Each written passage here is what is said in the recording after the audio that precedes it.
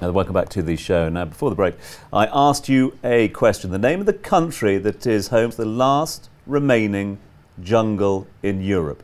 The answer, of course, is Bosnia and Herzegovina.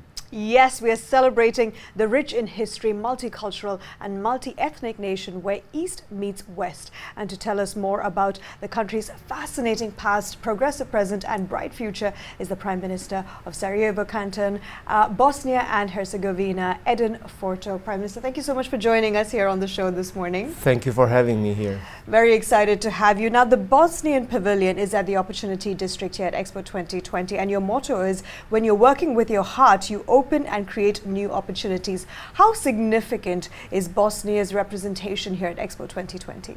It's important for us because we are still trying to get into bigger markets. For us, recognition of international business community is key at the moment. And we want uh, markets, people, leaders from around the world to know that Bosnia is at the heart of the region and Europe and that they can access anything in Europe from Bosnia quite easily.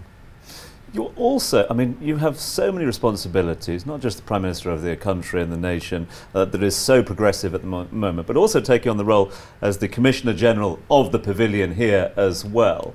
Um, how important was Expo 2020 as a platform, not for just what you've spoken about there, but also to celebrate your country on a day like this, the National Day?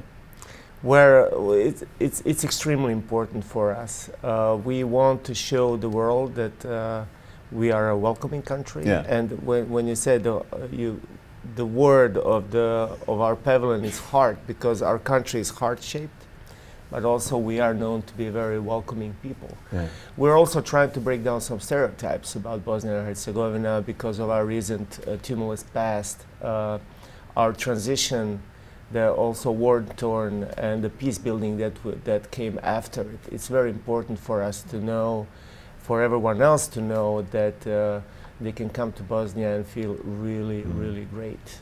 Mm.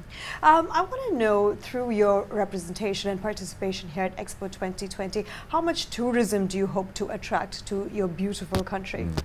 Well, we've had uh, we've had tourism growing at, uh, especially where I come from, Sarajevo Canton. Uh, which is the capital of the country, uh, we've had growth of over 20% per year, and tourism is basically one of our uh, uh fastest growing industries. Regardless of the, of the COVID situation, we are hoping that this will continue to grow. It is very important for us also, for the Gulf countries, to know that it's really, uh, that they're welcomed at, in Bosnia.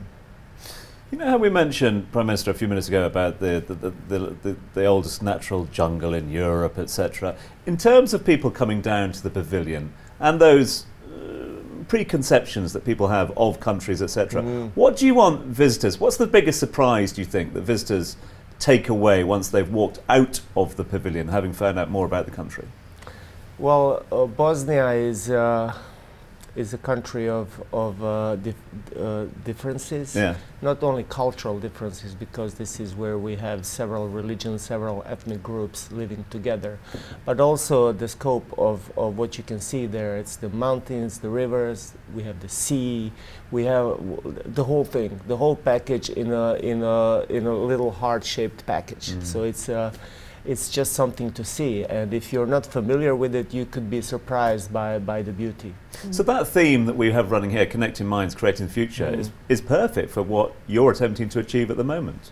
Yes, uh, one of the uh, big, fastest growing industries in Sarajevo and the rest of Bosnia is the uh, IT community yeah. is really uh, growing and uh, the markets are not in Bosnia. The markets are in the US, the UK, the EU, and uh, but the companies are stationed there. So this is also something that we want to show that you can really live high quality life, mm. work for the biggest markets, and stay in Bosnia. This is also one of the messages we're trying to send. Prime Minister, we have about under 30 seconds. So very briefly, if you could tell us what is the biggest takeaway when a visitor experiences the Bosnian Pavilion? What would you say are some of the some of your best highlights that you absolutely shouldn't miss out? Oh, we just want you to to know where we are Yeah. and that it's easy to get to us and how beautiful it is. But uh, everything else comes with it the business opportunities, the ideas, access to bigger markets, and in general, quality that we offer. It's going to be a very busy day for you, Prime Minister. It's going to be a busy day